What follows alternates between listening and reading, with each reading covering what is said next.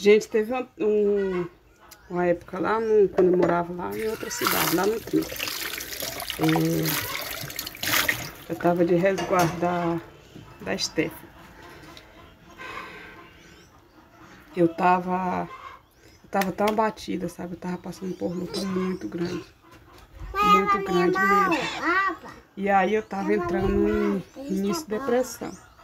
As pessoas acham que, tipo, Depressão é coisa de brincadeira, não é. Sabe por quê? Porque depressão é uma coisa assim que você. Eu vou. Você sorri para todo mundo, sabe? Você sorri, você conversa, você. As pessoas olham para você não imaginam que você tá passando.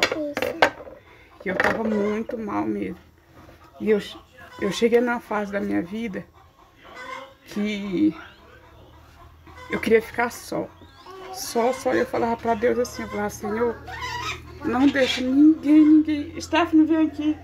Não deixa ninguém vir aqui hoje, porque eu quero ficar só. Eu quero. É só eu e tu mesmo. E.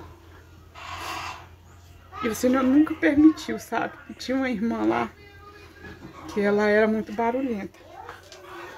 Aí barulhento assim, sabe? Animado.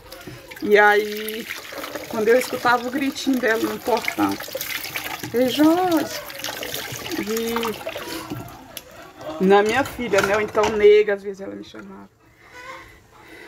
Abre aqui, nossa, eu falava, Deus, por que me enviou alguém? Eu queria ficar só. E aí ela chegava toda animada, sabe? E eu começava, ela começava a conversar comigo.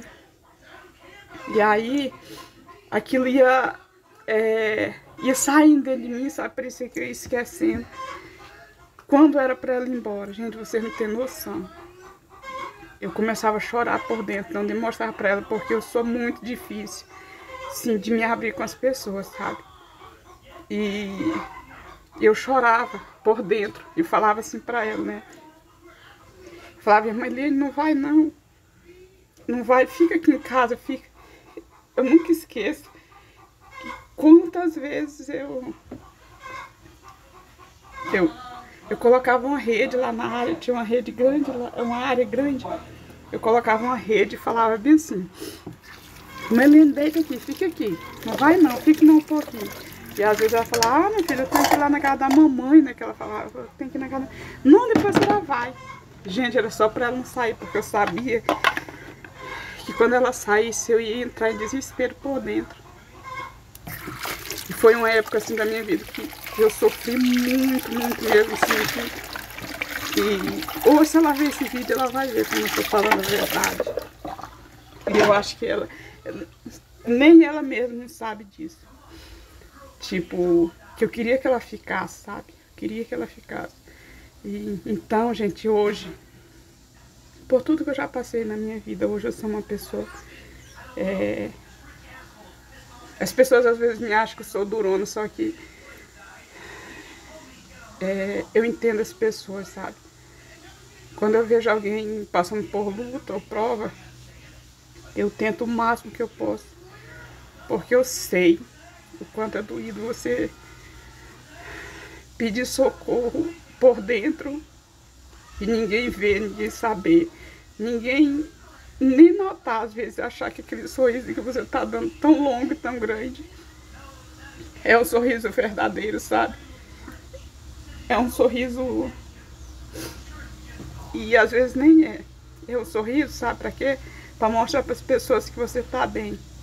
Mas por dentro só Deus conhece e sabe como você está. Hoje não, hoje louvo a Deus por eu, eu ser diferente e tem algumas coisas ali que Deus precisa tratar comigo, eu preciso ainda.